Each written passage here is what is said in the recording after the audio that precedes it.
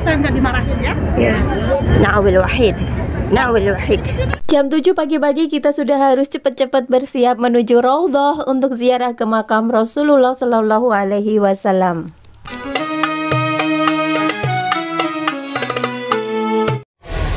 Kita mau ke mana, Bu?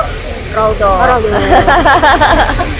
gabung antara eh gabung jamaah B1, 2 dan 3. Ya, rombongan ibu-ibu ini yang kita mau berangkat ya. Sukses mudah-mudahan nanti bisa mencapai dalam. Amin.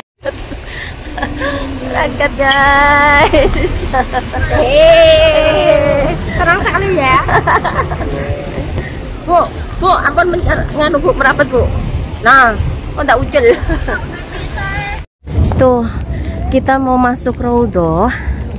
Kita antri kayaknya. Sudah antri banyak. Atau dari mana ini? Titik antriannya dimulai dari mana ini? Kita ini satu rombongan sekitar kurang lebih berapa tadi? Terakhir 60, terupdate 60 terus 60 orang jamaah ibu-ibu tambah berapa kurang tahu karena kalau di total semuanya 81 orang yang nggak tahu ber yang nggak ikut berapa orang kurang tahu tapi ini antriannya panjang banget sampai sana dan ini kita sudah mulai mendekat dengan Raudhah nanti di dalam kita diarahkan untuk sholat tahiyat masjid. Dua rakaat. Ah, antriannya kayaknya dari depan sana deh. Eh, titik antriannya dimulai deh.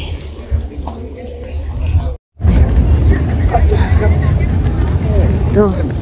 Titik antriannya kayaknya dimulai dari sana. Dari sana lah. Oh udah mulai iya betul. Tuh antrinya panjang banget bisa antriannya. Antriannya udah segitu. Wah, ini nggak boleh putus ini, nggak boleh putus. Kalau putus nanti. Jadi rombongannya terpisah. Nanti satu baris.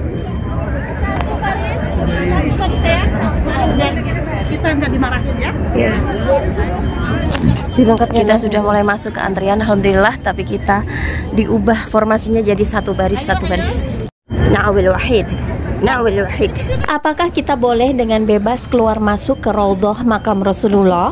Sayangnya jawabannya adalah tidak sebebas itu. Untuk bisa masuk, kita harus punya tasreh. Satu baris, satu baris, tetap satu baris. Eh, tapi Pak.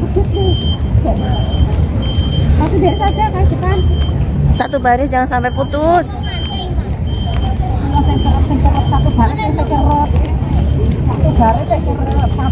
Ya, untuk bisa masuk ke Raudhah, kamu harus mendapatkan tasreh. Lalu apa itu tasreh? Tasreh adalah surat keterangan izin untuk masuk ke dalam Raudhah secara resmi. Jika kamu umroh mandiri atau umroh backpacker, mungkin kamu bisa mendapatkan tasreh dengan cara mendaftar lebih dulu lewat aplikasi. Mungkin aplikasi Nusuk atau yang lain, coba kamu cari tahu ya. Bagi rombongan umroh yang berangkat bersama tur umroh, biasanya diakomodir atau diuruskan oleh pihak tur umroh. Dan nanti akan ada petugas atau muasasah yang akan mendampingi kita untuk masuk ke Raudhah. Oh, bakar kalori guys. Ngos-ngosan. Aduh. Jom, Tiandis, jom.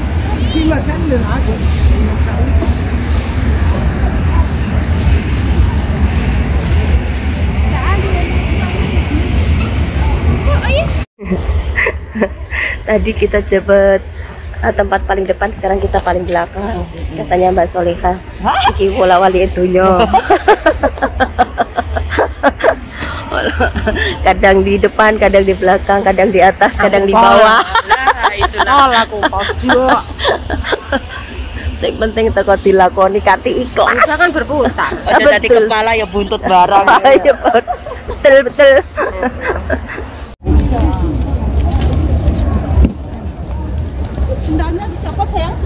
Sendal, sendal, sendal yang masih pakai sendal. Yang masih pakai Ya, ya, ya. ya. Dan menunggu di pintu keluar 40. A few moments later. Kita sudah berada di dalam masjid dan sambil mengantre ke makam Rasulullah, di sini kita bisa menunaikan sholat sunnah, baca Al-Quran, dan perbanyak doa. Tapi perlu diingat bahwa waktu kita untuk bisa di sini hanya sebentar saja, teman-teman, sekitar 10 menitan saja. Karena kita tidak bisa berlama-lama, maka jika doanya panjang, sholat sunnah yang kita lakukan mungkin tidak perlu diperbanyak ya. Nah, karena apa? Ingat lagi, Raudhah adalah tempat yang mustajab untuk berdoa, maka perbanyaklah doa yang baik-baik untuk teman-teman. Keutamaan kita berziarah ke makam Rasulullah adalah kita akan mendapatkan syafaat dan bahkan Rasulullah Shallallahu Alaihi Wasallam yang mengundang secara langsung setiap umatnya untuk berziarah ke makamnya setelah beliau wafat.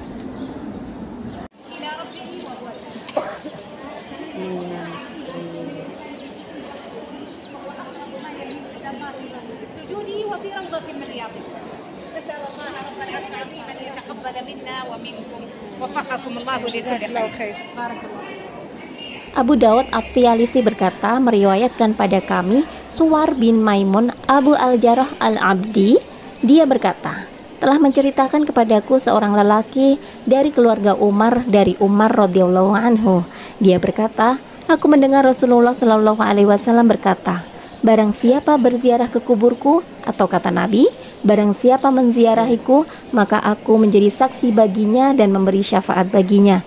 Dan barang siapa meninggal di salah satu dua kota suci, Mekah dan Madinah, maka Allah akan memberikan dua keamanan pada hari kiamat. Itulah sebabnya salah satu tujuan setiap muslim di Madinah Al-Mukarramah adalah untuk berziarah ke makam Rasulullah Shallallahu alaihi wasallam. Terima kasih. Terima kasih Umi. Sudah diantar ke sini. Terima kasih Umi.